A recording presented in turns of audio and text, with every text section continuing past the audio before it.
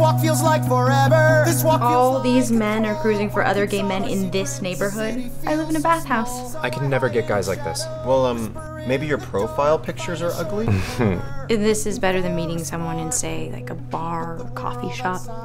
Duh, way better. I mean, we used to have to ditch our straight friends to find our own kind, and now we're always at a gay bar.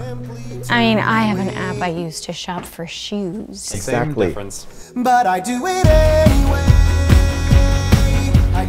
If someone left a little slip of paper on a table that said, I'm 78 feet away, I'm looking at you right now and I would like to fuck you, that's creepy. But on an iPhone, it's okay?